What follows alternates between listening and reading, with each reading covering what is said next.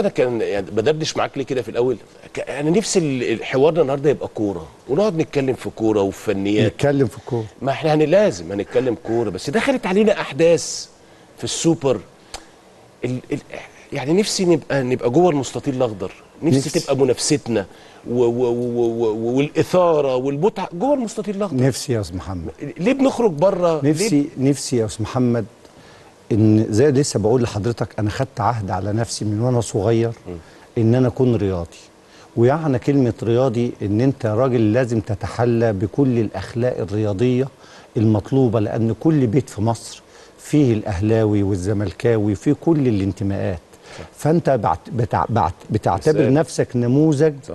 إنك ملك لكل الناس دي صح. الأسر كلها بتحب الرياضيين اللي هم على قدر كبير من الأخلاق فأنا بتمنى إن الناس كلها تلتزم بالأخلاق الرياضية وإن يكون دايما شغلنا كله في المستطيل الأخضر. وكورة فالواحد. بيزعل متعة. بيزعل لما نقضي أيام من حياتنا بنتكلم فيها في مشاكل خارج المستطيل الأخضر صح.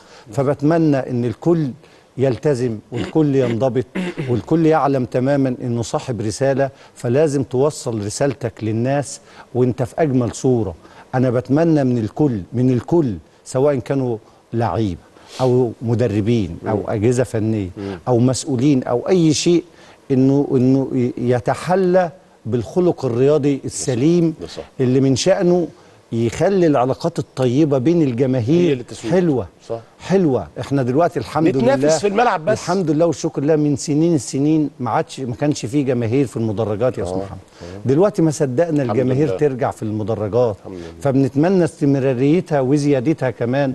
لاقصى لأقصى سعة في الاستاد فبتمنى إن الكل يوفر المناخ الجيد صح. لهذه الصفة الطيبة إن أنت تكون رياضي وإن نكون شغلنا كله داخل الملعب.